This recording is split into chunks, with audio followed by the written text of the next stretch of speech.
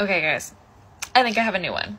Tell me about a time that you or somebody you know, like you know the story personally. Tell me about a time that you or somebody you know, either separately or together or neither of you, were actually involved or not. Like think, and it could be an instance too. So th- tell me about a time time or an instance or even a place that you and this person that you know, you know this person, so this isn't a random person. Tell me about a time or, or a place or an instance that you or this person, either separately or together, could be either one, maybe none of you honestly were involved in this or, or not involved. Like, but tell me about a time that you or this other person or none of you or all of you, or an instance or a place or a thing, could be a thing too. Tell me about a time that you